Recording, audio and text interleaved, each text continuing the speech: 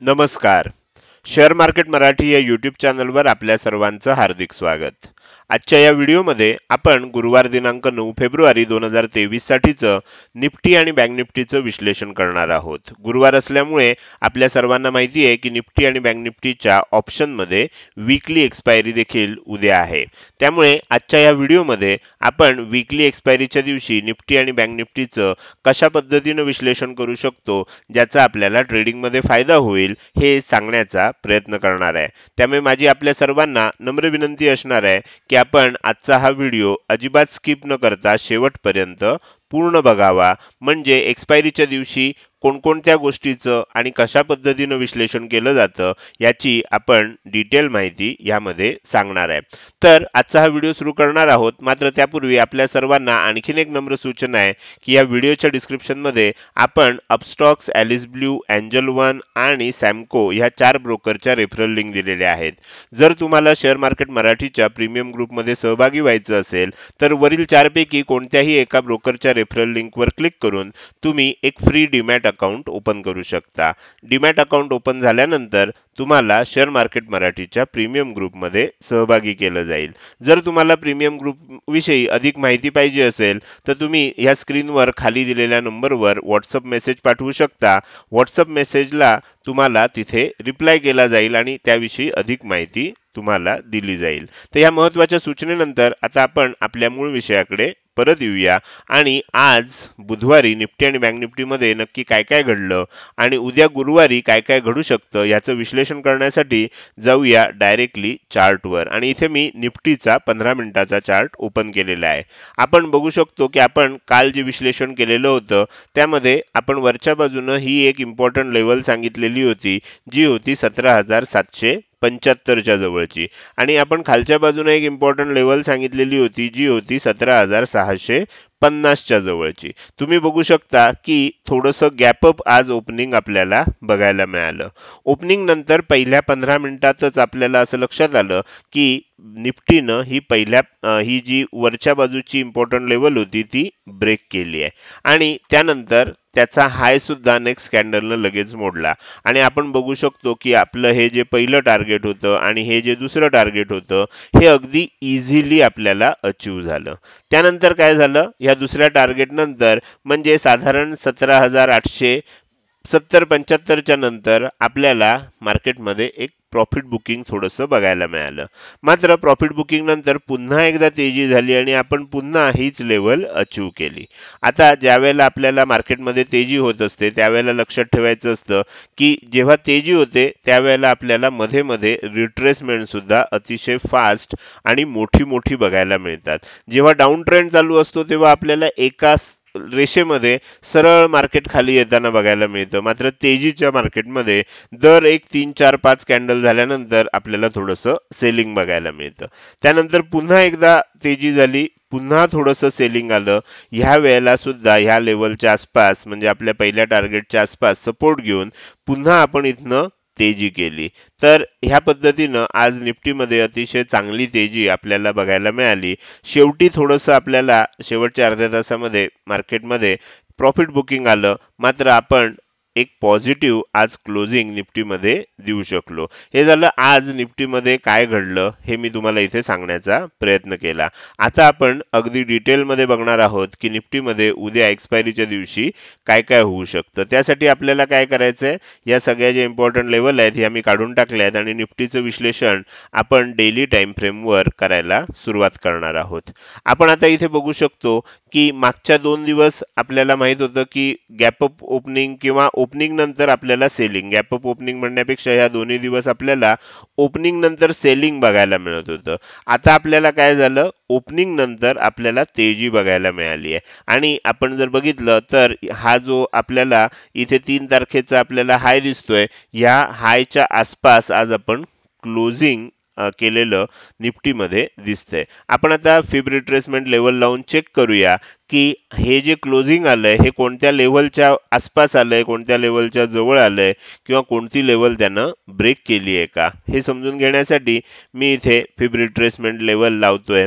Fib retracement level तुम्हाला लावल्यानंतर आणि थोडंसं झूम करतो म्हणजे तुम्हाला अगदी डिटेलमध्ये बघता येईल. तर तुमच्या असं लक्षात येईल की इथे आपल्याला एक इम्पॉर्टंट लेवल होती आणि मी ही मागचे बरेच दिवस सांगतोय तुम्हाला की ह्या लेवलच्या वर अजून आपल्याला क्लोजिंग येत नाहीये. म्हणजे आपण ह्या दिवशी एक फेब्रुवारीच्या बजेटच्या दिवशी इथनं वर गेलो होतो पण तिथे टिकलं नाही आणि आपल्याला त्याच्याखाली येऊन आपण क्लोज झालो. बरेच दिवस मागचे आपण ह्या लेवलच्या वर जात नाहीये आणि ती लेवल आहे सतरा हजार आठशे सत्याहत्तरची. आज आपण अगदी जवळ येऊन क्लोज केलंय. तसं आपण तीन तारखेला सुद्धा अगदी जवळ येऊन क्लोज केलं होतं. मात्र त्यानंतर आपल्याला असं लक्षात येईल की पुन्हा एकदा सेलिंग आलं होतं. आज पुन्हा आपण इथे पोचलेलो आहोत. ह्या लेवलच्या वर जोपर्यंत क्लोजिंग येत नाही तोपर्यंत आता काय होणार नाही? निफ्टीमध्ये आपल्याला पुढची टार्गेट्स मिळणार नाहीत. तुम्ही जर बघितलं तर अठरा हजार एकोणीस म्हणजे साधारण अठरा हजारच्या आसपास आपलं नेक्स्ट टार्गेट आहे. तर ह्याच्या वर क्लोजिंग कदाचित काय होऊ शकेल?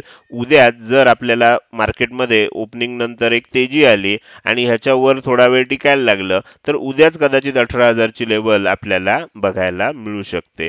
तर हे झालं आपल्याला वर वर जात असताना कोणती लेवल आहे ते मी सांगण्याचा प्रयत्न केलाय.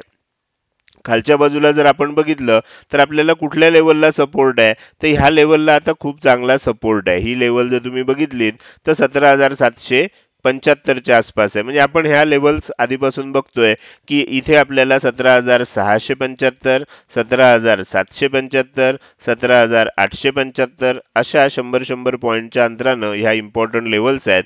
आणि आपल्याला निफ्टी मागचे तीन चार दिवस ह्या दोनशे पॉईंटमध्येच अडकलेला बघायला मिळतोय.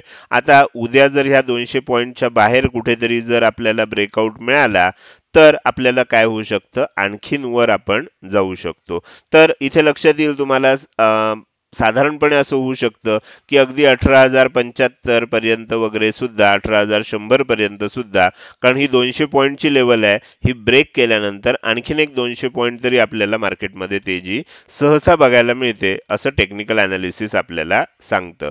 तर हे झालं निफ्टीमध्ये वरच्या बाजूला कोणत्या लेवल्स आहेत खालच्या बाजूला कोणत्या सपोर्ट लेवल आहेत हे आपण डे टाइम फ्रेममध्ये बघून घेतलेलं आहे. आता आपण काय करूया आता आपण पंधरा मिनिटाच्या टाइम फ्रेममध्ये जाऊन उद्यासाठीच्या आपल्याला इम्पॉर्टंट लेवल काढूया. तर त्यासाठी मी पंधरा मिनिटाचं टाइम फ्रेममध्ये जातोय आणि पंधरा मिनिटाच्या टाइम फ्रेममध्ये आपल्याला उद्यासाठीच्या इम्पॉर्टंट लेवल्स आणि टार्गेट लेवल्स काढायचे आहेत. तर त्याच्यासाठी मी थोडंसं आपल्याला इथे ओके. तर आता आपण इथे बघू शकतो की कशा पद्धतीने आपल्याला ह्या लेवल्स दिसत आहेत. आता मी काय करेन हा डे हायच्या आसपास आपल्याला एक पहिली इम्पॉर्टंट लेवल आपल्याला काढायला लागेल. तर मी इथे काय करतोय डे हायच्या आसपास एक इम्पॉर्टंट लेवल काढतोय. त्यानंतर आपल्याला एक स्विंग लो शोधून काढायला लागेल. तर स्विंग लो आपल्याला लक्षात येईल की इथे बनला होता. तर ह्या दोन लेवल आपल्यासाठी काय असणार आहेत? उद्यासाठी इम्पॉर्टंट लेवल असणार आहेत. वर जर बघितलं तर तुम्हाला लक्षात येईल की सतरा हजार नऊशेची लेवल आहे. सतरा हजार आठशे अठ्ठ्याण्णवची लेवल आहे.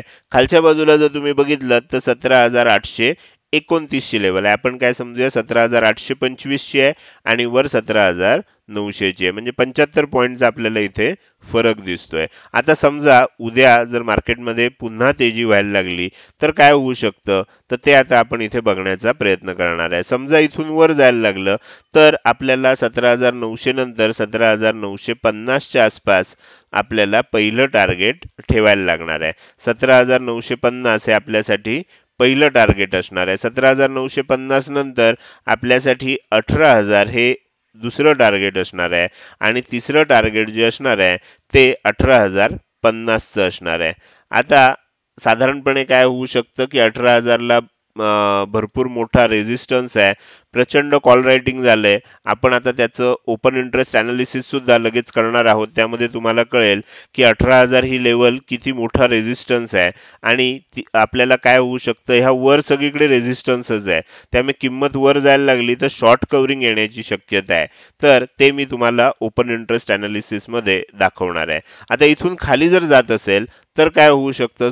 दुर्दैवानं समजा आपल्याला जसं माहिती आहे की वर खूप मोठा रेझिस्टन्स आहे आणि आंतरराष्ट्रीय काही आपल्याला वाईट वाईट घडामोडी घडल्या आणि मार्केटमध्ये इथनं सेलिंग यायला लागलं आणि ही इम्पॉर्टंट लेवल आठशे पंचवीसची जर तोडली तर काय होऊ शकतं? तर ते आता आपल्याला समजून घ्यायचं आहे. आठशे पंचवीसची लेवल जर तोडली तर आपल्याला सातशे पंच्याहत्तरच्या आसपास पहिलं टार्गेट ठेवायला लागेल. तर इथे आपण सातशे पंच्याहत्तरच्या आसपास आपण पहिलं टार्गेट ठेवतोय. त्यानंतर त्याच्याखाली आपल्याला सतरा हजार सातशे पंचवीसच्या आसपास आपल्याला पुढचं टार्गेट ठेवायला लागणार आहे. सतरा हजार सातशे पंचवीसच्या आसपास आपण पुढचं टार्गेट ठेवतोय. आणि सतरा हजार सहाशे पंच्याहत्तरच्या आसपास आपल्याला इथे आपण फायनल टार्गेट ठेवतोय.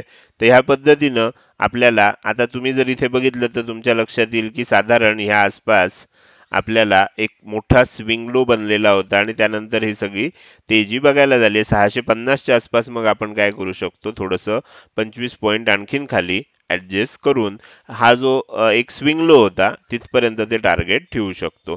तर ह्या झाल्या इम्पॉर्टंट लेव्हल्स कशा पद्धतीनं काढायचे आहेत ते मी तुम्हाला इथे दाखवण्याचा प्रयत्न केला आहे आता आपण काय करूया? निफ्टीसाठीचं ओपन इंटरेस्ट अनालिसिस करायला सुरुवात करूया. सगळ्यात पहिल्यांदा आपण बघूया की निफ्टीमध्ये मॅक्स पेन कुठे आहे.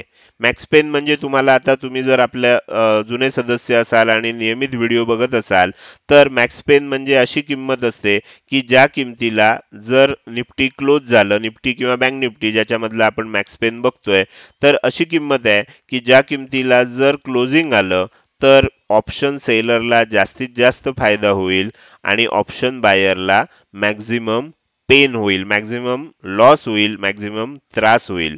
तर अशी जी किंमत असते ती काढली जाते त्याला म्हणतात मॅक्स पेन तर आपण इथे बघू शकतो सतरा हजार आठशे पन्नासच्या आसपास आपल्याला मॅक्स पेन दिसते म्हणजे जिथे आहे ऍट द मनीलाच आपल्याला काय दिसतंय? मॅक्स पेन दिसतंय. तुम्ही जर इथे मॉडिफाईड कॅल्क्युलेटेड मॅक्स पेन बघितलं तर ते सतरा हजार आठशे चौतीसला दिसतंय. म्हणजे जवळपास आपल्याला असं लक्षात येईल की ह्याच्यामध्ये फारसं काय अंतर नाही आहे कॅल्क्युलेटेड आणि स्ट्राईक प्राईजमध्ये तर त्याच्यामुळे सतरा हजार आठशे पन्नासच्या आसपास दिसतंय. मात्र सध्या आपण पुढे गेल्यानंतर शेवटी विक्सचा पण अंदाज घेणार आहे. इंडिया विक्स हा जो व्हॉलॅटिलिटी इंडेक्स आहे त्याचंही विश्लेषण करणार आहे. इंडिया विक्समध्ये सातत्यानं मागचे काही दिवस आपण मंदी होताना बघतोय. व्हॉलॅटिलिटी कमी होत असल्यामुळे एक्सपायरीच्या दिवशी खूप मोठ्या मुवमेंट येऊ शकतात. आणि असं जर झालं तर सतरा हजार आठशे पन्नास वरनं आपल्याला कदाचित हा मागे पुढे हलताना हे जे मॅक्सपेन आहे ते आपण बघू शकतो. आता आपण काय करूया की ओपन इंटरेस्टचं अनालिसिस करूया. सध्या आपल्याला इथे ओपन इंटरेस्टमध्ये काय दिसतंय? तर त्याच्यासाठी मी हा चार्ट ओपन केलाय. आपण इथे बघू शकतो थोडासा पाहिजे असेल तर मी हा चार्ट आणखीन झूम करतो म्हणजे तुम्हाला व्यवस्थित दिसू शकेल. ओके तर ह्या पद्धतीने आपल्याला इथे बघता येईल की सध्या कोणत्या लेवलला जास्त ओपन इंटरेस्ट आहे. तर तुम्ही इथे बघू शकता की ही जी लेवल आहे अठरा हजार तुम्हाला असं लक्षात येईल की सर्वात जास्त ओपन इंटरेस्ट इथे आहे. तुम्ही जर इथे बघितलं तर ह्या लेवलचा ओपन इंटरेस्ट कुठेच नाही आहे बरोबर? तर हा जो हिरवा आपल्याला स्तंभ दिसतोय हा सगळ्यात मोठा आहे. जे लाल रंगाचे स्तंभ आहेत ते जास्तीत जास्त एवढ्याच उंचीचे आहेत. त्यानंतर तुम्ही बघाल तर खाली आलाय पुन्हा थोडासा वर गेलाय. म्हणजे एवढ्या उंचीचा स्तंभ तुम्हाला लाल रंगामध्ये नाहीये. त्यामुळे आपल्याला लक्षात काय येतंय की अठरा हजारची लेवल ही स्ट्रॉंग रेझिस्टन्स आहे. पण हे बघत असताना आपल्याला ही गोष्ट लक्षात ठेवली पाहिजे की आजचा दिवस जर बघितलात इथे तुम्हाला लक्षात येते की चेंज इन ओपन इंटरेस्ट काय आहे. तर चेंज इन ओपन इंटरेस्ट जर तुम्ही बघायला गेला तर तुमच्या असं लक्षात येईल आज दिवसभरामध्ये प्रचंड प्रमाणात पुट रायटिंग झालेलं आहे. तुम्ही एवढा भाग जर बघितलात तर तुम्हाला हे सगळे जे लाल स्तंभ वाढलेले दिसत आहेत याचा अर्थ आज पुट रायटिंग झालंय म्हणजे लोकांनी तेजी केलेली आहे. त्याबरोबर ह्या झिरो लाईनच्या खाली ह्या ज्या हिरव्या रेषा दिसत आहेत याचा अर्थ आपल्याला शॉर्ट कव्हरिंग झालेली सुद्धा लक्षात येते अनेक कॉलच्या स्ट्राईक प्राईजमध्ये शॉर्ट कव्हरिंग झालेली आहे. तुम्ही वरच्या बाजूला सुद्धा बघू शकता आणि ऍट द मनीच्या आसपास सुद्धा बघू शकता. म्हणजे आज निफ्टीमध्ये शॉर्ट कव्हरिंग पण झाली आहे आणि लॉंग बिल्डअप पण झालेला आहे. हे तुम्हाला लक्षात येईल. आता हे थोड्याशा टेक्निकल टर्म्स आहेत. आपण वेगवेगळ्या ठिकाणी ही माहिती ऑलरेडी सांगितलेली आहे. त्यामुळे जास्त डिटेलमध्ये सांगत नाही.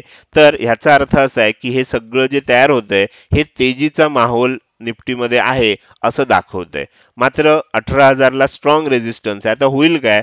उद्या जर समजा मार्केटमध्ये गॅपअप ओपन झालं आणि अठरा हजारची लेवल तोडून वर टिकायला लागलं तर ज्यांनी ज्यांनी अठरा हजारचे कॉल सेल केले ते सगळे शॉर्ट कव्हर करायला लागतील आणि त्यामुळे आपल्याला बॅ निफ्टीमध्ये आणखीन एक शंभर दीडशे पॉईंटची सुद्धा तेजी बघायला मिळू शकते. मात्र हे कधी व्हायला पाहिजे? ओपनिंग नंतर लगेच व्हायला पाहिजे. थोड्या काळानंतर झालं तर मग खूप मोठे शॉर्ट कव्हरिंग होणार नाही कारण ह्या लोकांना मग आपल्या पोझिशन ॲडजस्ट करायला संधी मिळेल. तर ओपनिंग झाल्या झाल्या जर अठरा हजारची लेवल तुटत असेल तरच ही संधी आहे की आणखीन एक शंभर दीडशे पॉईंट जाईल. नाहीतर काय होईल? मग पन्नास एक पॉईंटपर्यंत पन्नास पंच्याहत्तर पॉईंट आपल्याला मग वर जाऊ शकतं. ही गोष्ट आपल्याला लक्षात ठेवायची आहे. मात्र तसं जर झालं नाही तर हे लक्षात ठेवलं पाहिजे. की इथे प्रचंड रेझिस्टन्स आहे.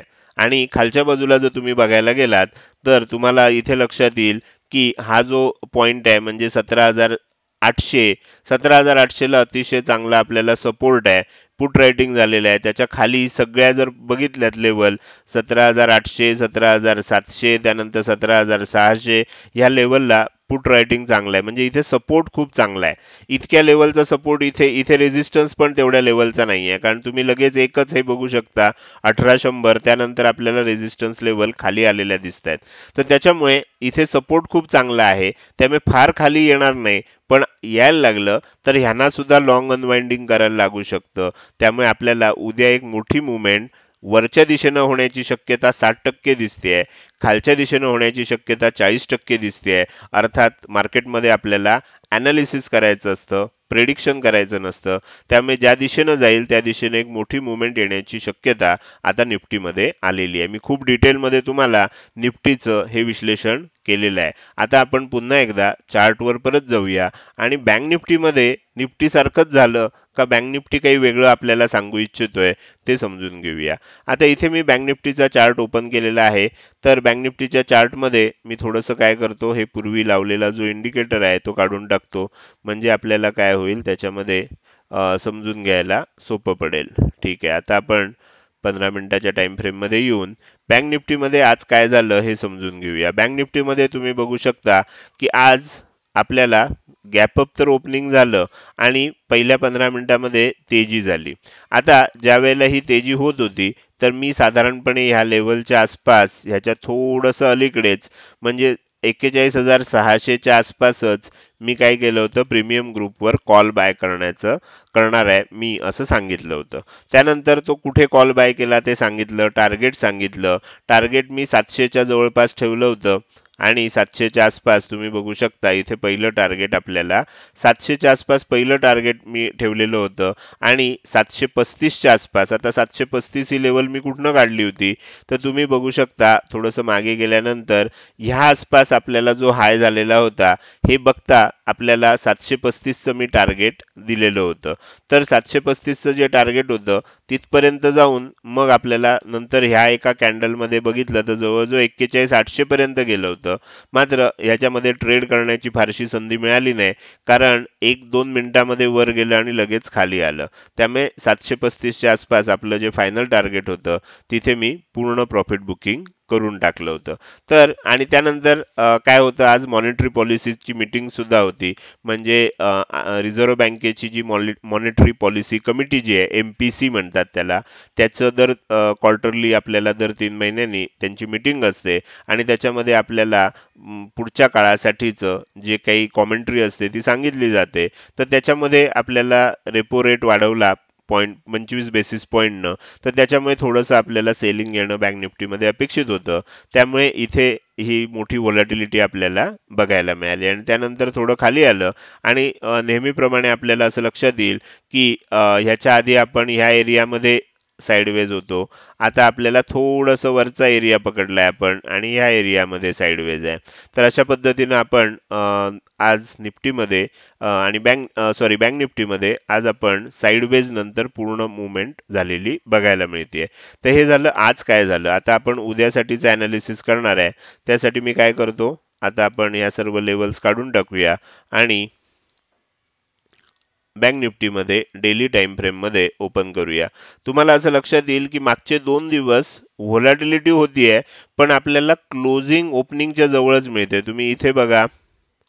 तुम्ही इथे बघा. आपल्याला अगदी जवळजवळच त्याच्यामध्ये ओपनिंग बघायला मिळते. तर ओपनिंगच्या जवळच क्लोजिंग बघायला मिळते. त्याच्या आणि हा ही रेंजसुद्धा दोन्ही दिवसाची सारखीच आहे. म्हणजे ह्या आसपासच आपल्याला मार्केटमध्ये ट्रेड होताना बघायला मिळते. आता आपण काय करूया? ह्या सगळ्या ज्या लेवल्स आहेत ह्या आपण फिब रिट्रेसमेंट लेवल लावून चेक करूया की कुठे कुठे आपल्याला कशा पद्धतीनं सपोर्ट आणि रेझिस्टन्स लेवल आहेत त्यासाठी मी इथे फिब्री ट्रेसमेंट लेवल लावतोय. आता आपण फिब्री ट्रेसमेंट लेवलमध्ये तुम्हाला आता हे पाठ झालं असेल जवळजवळ की इथे सिक्स्टी वन पॉईंट एट पर्सेंटची लेवल आहे. त्याच्यामुळे ह्या लेवलला आपण अनेकदा टच करतो आणि खाली पळतो. असं आपल्याला बघायला मिळतंय. तर ही लेवल जी आहे एक्केचाळीस हजार सहाशे एक्क्याऐंशीची आहे. ही अजून रेझिस्टन्स लेवल आहे. कितीतरी दिवस आपण ह्या लेवलच्या वर क्लोजिंग देऊ शकलो नाहीये. आणि मागचे जवळजवळ चार दिवस आपण ह्या लेवलच्या खाली सुद्धा क्लोजिंग दिलं नाहीये. तर ही लेवल खालची जी आहे ती पन्नास टक्क्याची आहे एक्केचाळीस हजार दोनशे पन्नासला आपल्याकडे सपोर्ट आहे आणि एक्केचाळीस हजार सहाशे एक्क्याऐंशीला आपल्याकडे रेझिस्टन्स आहे. चार दिवस तरी आपण ह्या रेंजमध्ये ट्रेड करतोय. आता आपल्याला ह्यामधनं वर किंवा यातनं खाली आपल्याला जोपर्यंत मार्केट येत नाही तोपर्यंत एक मोठी मुवमेंट बघायला मिळणार नाही. जर निफ्टीला आपण बघितलं तर निफ्टी वर जाण्याच्या दिशेनं प्रयत्न करतोय. बँक निफ्टी आपल्याला तेवढंसा त्याला साथ देताना दिसत नाहीये. जर बँक निफ्टीनं उद्या साथ दिली तर मग काय होऊ शकतं? निफ्टी सुद्धा आणखीन जोरात वर जाऊ शकतो. तर त्याच्यामुळे आपल्याला असं दिसतंय की जर समजा इथनं वर गेलो तर मग आपण अगदी बेचाळीस हजार तीनशे पर्यंतची लेवल सुद्धा येत्या काही दिवसामध्ये गाठू शकतो. तर हे आपल्याला आता इथे चित्र दिसतंय. यामध्ये इम्पॉर्टंट लेवल सुद्धा आपल्याला लक्षात आलेले आहेत की कुठे सपोर्ट आहे आणि कुठे रेझिस्टन्स आहे. आता आपण काय करूया? उद्यासाठीचे इम्पॉर्टंट लेवल काढूया आणि त्यानंतर ओपन इंटरेस्ट अनालिसिस बँक निफ्टीमध्ये सुद्धा करूया. तर आता आपण इथे जर बघायला गेलो तर आपल्याला असं लक्षात येईल की बराच काळ आपल्याला एक रेंज आपण पकडली आहे. आता मुद्दाम हा लो घेत नाही आहे कारण त्याच्यामध्ये आपल्याला लक्षात येईल की एक्केचाळीस हजार चारशे एक्केचाळीस आहे आणि आपण समजा इथे घेतला तर तो चारशेच्या आसपास आहे. आपल्याला थोडंसं लवकर समजणं आवश्यक आहे. म्हणून मी इथे घेतोय एक्केचाळीस हजार चारशे पन्नासच्या आसपास आपण असं समजूया की खालच्या बाजूला सपोर्ट आहे. तर त्यामुळे आपण काय केलं? तिथे एक इम्पॉर्टंट लेवल घेतली. आणि वरच्या बाजूला जर आपण बघायला गेलो तर वरच्या बाजूला आपल्याला साधारणपणे ही जी लेवल आहे एक्केचाळीस हजार सहाशेची. ही लेवल आता इम्पॉर्टंट लेवल आहे. म्हणजे साडे खाली आहे एक्केचाळीस हजार चारशे पन्नास वर आहे सहाशे. म्हणजे ही जी दीडशे पॉईंटची आपल्याला याच्यामध्ये डिफरन्स दिसतोय तर ही आपल्या इम्पॉर्टंट लेवल आहेत. ह्यातनं ज्या दिशेनं ब्रेकआउट येईल त्या दिशेनं आपल्याला खूप चांगला मुवमेंट बघायला मिळू शकते. आता वरच्या दिशेनं मुवमेंट होत असेल तर एक्केचाळीस सहाशे नंतर आपल्याला डायरेक्टली टार्गेट ठेवायला लागेल ते म्हणजे एक्केचाळीस सातशेचं. तर त्यामुळे एकेचाळीस सातशेच्या आसपास मी पहिली आपल्याला लेवल देतोय टार्गेटची आता आपण तिथनं जाऊया एक्केचाळीस आठशेच्या आसपास. एक्केचाळीस आठशेच्या आसपास आपल्याला दुसरं टार्गेट दिसतंय. आणि तिसरं टार्गेट जे आहे ते एक्केचाळीस नऊशेच्या आसपास असेल.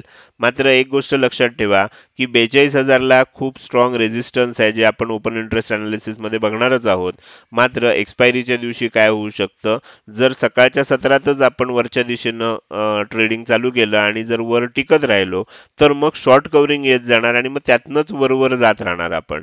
त्यामुळे बेचाळीस हजारची लेवलसुद्धा उद्या टच होऊ शकते हे आपल्याला लक्षात ठेवलं पाहिजे. तर हे झालं वरच्या लेवल्स ज्या इम्पॉर्टंट लेवल्स आहेत. आता खाली येत असताना साडेचारशे ही जी इम्पॉर्टंट लेवल आहे ह्याच्यानंतर आपण इथे बघू शकतो की तीनशे पन्नासच्या आसपास आपल्याला काय करावं लागेल? पहिलं टार्गेट खालच्या बाजूला ठेवावं लागेल. तीनशे पन्नास नंतर आपल्याला दोनशे पन्नासच्या आसपास दुसरं लेवल आणि एकशे पन्नासच्या आसपास एक्केचाळीस हजार एकशे पन्नासच्या आसपास आपल्याला फायनल टार्गेट ठेवायला लागेल. आता आपल्याला हे पण लक्षात ठेवायला लागेल की आपण उद्या हे असल्यामुळे एक्सपायरी असल्यामुळे जर खाली येत असेल तर खाली आता खूप चांगला सपोर्ट आहे खरं म्हणजे. पण खाली यायलाच लागलं मार्केट तर आपल्याला लॉंग अनवाइंडिंग होईल आणि त्याच्यामुळे सुद्धा आणखीन खाली येऊ शकतं. अगदी एक्केचाळीस हजार शंभरपर्यंत सुद्धा आपण येऊ शकतो. हे आता आपल्याला लक्षात ठेवायला लागेल. हे झालं आपल्याला इम्पॉर्टंट लेवल सगळ्यात महत्त्वाचं आपल्याला समजून घ्यायचं आहे ते म्हणजे ओपन इंटरेस्टमध्ये आपल्याला काय दिसतंय? तर त्याच्यासाठी मी बँक निफ्टी ओपन करतोय. बँक निफ्टीचं आता सगळ्यात पहिल्यांदा आपण मॅक्स पेन बघूया. तर मॅक्स पेन मात्र इथे आपल्याला थोडंसं एक्केचाळीस हजार पाचशेच्या आसपास राहिलेलं बघायला मिळतंय. आणि तुम्ही इथे सुद्धा बघितलं तर कॅल्क्युलेटेड जे मॅक्स पेन आहे सॉरी हे स्ट्राईक प्राईजचं मॅक्स पेन आहे आणि कॅल्क्युलेटेड जे आहे ते सुद्धा पाचशेच्या आसपासच आहे चारशे शहाण्णव आहे. त्यामुळे एक्केचाळीस पाचशे ह्या लेवललाच आता सध्या मॅक्सपेन आहे. मात्र विक्स कमी असल्यामुळे आपल्याला काय होऊ शकतं? इथून मॅक्स पेन खालच्या दिशेनं किंवा वरच्या दिशेनं सरकू शकतं. निफ्टीकडे बघितलं तर वाटतंय वरच्या दिशेनं सरकेल. बँक निफ्टीकडे वाट बघितलं तर वाटतंय फार काही मुवमेंट होत नाही आहे पण आपल्याला त्यामुळे ओव्हरऑल पॉझिटिव्ह दिसतंय. साठ टक्के शक्यता आहे वरच्या दिशेनं शिफ्ट होईल. चाळीस टक्केच शक्यता आहे खालच्या दिशेनं आहे. ओपनिंग नंतर आपल्याला लगेचच ह्या गोष्टी लक्षात येऊ शकतील. तर हे झालं. मॅक्स पेन आपल्याला काय सांगायचा प्रयत्न करत आहे आता आपण ओपन इंटरेस्ट बघूया. तर इथे जर तुम्ही बघायला गेला तर तुमच्या लक्षात येईल की जसं आपल्याला निफ्टीमध्ये झालं इथे तसं होताना दिसत नाही आहे तुम्ही जर बघितलात तर आपल्याला ही जी लेवल आहे एक्केचाळीस हजार पाचशे इथे बघितलं तर कॉल आणि पुटचा ओपन इंटरेस्ट जवळजवळ सारखा झालेला दिसतोय. म्हणजे उद्या कदाचित काय होईल जर समजा तेजी होत राहिली तर इथे आणखीन चांगलं पुट रायटिंग होईल चांगला सपोर्ट बनेल. पण ह्या लेवलला एक्केचाळीस पाचशेला अजून आपल्याला खात्रीपूर्वक सांगता येत नाही. तसं बघायला गेलं तर थोडासा रेझिस्टन्सच जास्त आहे. सपोर्टपेक्षा पण उद्या कदाचित तो भरून निघेल. तर खालच्या बाजूला बघायला गेलात तर डायरेक्टली आपल्याला मग एक्केचाळीस हजारलाच एक चांगला स्ट्रॉंग सपोर्ट दिसतोय. मात्र वरच्या बाजूला इथे बघायला गेला तर आपल्याला लक्षात येईल की ही बेचाळीस हजारची लेवल आहे. बेचाळीस हजारपेक्षा जास्त त्रेचाळीस हजारच्या लेवलला रेझिस्टन्स आहे. पण ही खूप लांबची असल्यामुळे याचा फार विचार करण्यात अर्थ नाही आहे बेचाळीस हजारची जी लेवल आहे ह्याला एक स्ट्रॉंग आपल्याला रेझिस्टन्स दिसतोय. ही जी हिरवी दांडी मोठी दिसते स्तंभ दिसतोय तर तो आपल्याला रेझिस्टन्स म्हणून दिसतोय. तर आपल्याला लक्षात काय ठेवायचं आहे की जर समजा ही लेवल ब्रेक झाली तर आणि ती सकाळच्या सत्रात लगेचच व्हायला पाहिजे तर आपल्याला एक शॉर्ट कव्हरिंग बघायला मिळू शकतं. कारण इथे सुद्धा खूप स्ट्रॉंग आपल्याला रेझिस्टन्स आहे. इथे थोडा कमी आहे परत इथे थोडा जास्त आहे. त्यामुळे ह्या सगळ्यांना शॉर्ट कव्हर करावे लागतील आणि त्यामुळे इथे वर जाताना आपल्याला बघायला मिळू शकतं. इंटरेस्टिंगली जसं शॉर्ट कव्हरिंग आपल्याला निफ्टीमध्ये बघायला मिळालं इथे तुम्ही बघू शकता झिरो लाईनच्या खाली तुम्हाला काहीही दिसणार नाही. म्हणजे आज आपल्याला फक्त पोझिशन बिल्डिंग झाली आणि ती दोन्ही बाजूनं झाली. खालच्या बाजूला बघितलं तर तुम्हाला सपोर्ट बिल्ड झाला वरच्या बाजूला बघितलं तर तुम्हाला रेझिस्टन्स बिल्ड झाला. म्हणजे इथनं काय झालं दोन्ही बाजूनं पोझिशन फक्त तयार झाल्या आणि बँक निफ्टी जागच्या जागेवर राहिली. जशी टग ऑफ वॉर असते ज्याच्यामध्ये एक दोरी असते आणि एका बाजूला काही प्लेयर असतात दुसऱ्या बाजूला काही प्लेयर असतात आणि दोघंही दोन बाजूनं खेचत असतात एक मध्य लाईन असते. तसं झालेलं आहे त्याला टग ऑफ वॉर असा गेम म्हणतात. तर तसं आपल्याला इथे बँक निफ्टीमध्ये झालंय की दोन्ही बाजूनं लोकांनी खेचलं आणि जवळजवळ सारख्या प्रमाणात खेचल्यामुळे आपण मधल्यामध्येच राहिलेले आहोत. ना खाली गेलो ना वर गेलो. तर ह्या पद्धतीनं आज झालंय. उद्या मात्र काय होईल? जर कोणत्याही दिशेनं आपल्याला ब्रेकआउट आला तर त्या दिशेनं आपल्याला एक मोठी मुवमेंट विक्स कमी असल्यामुळे बघायला मिळू शकते. तर हे झालं आपल्याला ओपन इंटरेस्ट अनालिसिस आता आपण शेवटचं अनालिसिस करूया. ते म्हणजे इंडिया विक्स अनालिसिस तर त्याच्यासाठी मी इथे इंडिया विक्सचा चार्ट ओपन करतोय. आणि मी हे जे सगळं सांगतोय उद्या थोडंसं ट्रेंडिंग राहण्याची मार्केट का शक्यता आहे? त्याचं सगळ्यात मोठं कारण जे आहे हे इंडिया विक्स आहे. मी तुम्हाला इथे डेली टाइम फ्रेममध्ये दाखवतो. मागच्या काही दिवसांपासून इंडिया विक्स जर बघितलं हा व्हॉलॅटिलिटी इंडेक्स आहे. तर ह्याच्यामध्ये व्हॉलॅटिलिटी कमी होती आणि म्हणून तुम्हाला छोट्या छोट्या कॅन्डल बनताना दिसत आहेत जसं तुम्हाला इथे लक्षात येईल की व्होलॅटिलिटी वाढते मोठ्या मोठ्या कॅन्डल बनायला लागतात. आणि जसं व्होलॅटिलिटी कमी होते आपल्याला छोट्या छोट्या कॅन्डल बनायला लागतात. आणि सध्या आपण अगदी लो पॉईंटला आलेलो आहे. ह्याच्या खाली बघा ह्या महिन्यामध्ये कुठेही आपल्याला ह्याच्या खाली गेलो नाहीये. त्याच लेवलला आपण पोहोचलोय बऱ्याच दिवसांच्या म्हणजे आता आपण इथे बघितलं तर तुम्हाला लक्षात येईल मी तुम्हाला ह्यानं दाखवतो. हे बघा हे हा जो भाग आहे हा पंधरा बारा तेरा डिसेंबरच्या आसपासचा आहे. तेव्हा आपण फक्त याच्या खाली गेलो होतो. त्यापूर्वी सुद्धा जर तुम्ही बघितलं तर ह्याच्या खाली फारसं जात नाही. इथे जवळ आलं साधारण साडे तेराच्या आसपास विक्स आलं की एक बाउन्स घेतं. साडेतेराच्या आसपास आलं की एक बाउन्स घेतं. इथे पण साडेतेराच्या आसपास आल्यावर बाउन्स घेतला. तर इथे व्होलाटिलिटी आपल्याला सगळ्यात कमी झालेली दिसते. आणि असं होईल त्यावेळेला एक बाउन्स घेईल. आणि ज्या वेळेला बाउन्स घेतो त्यावेळेला मार्केटमध्ये एक मोठी व्होलाटिलिटी येते आणि एक मोठ्या मोठ्या कॅन्डल बनायला लागतात. तर ह्या बेसिसवर मी तुम्हाला सांगायचा प्रयत्न करतोय की उद्या कदाचित आपल्याला मार्केट ट्रेंडिंग होईल. ज्या दिशेनं जाईल त्या दिशेनं मोठ्या मोठ्या लेवल्स येतील.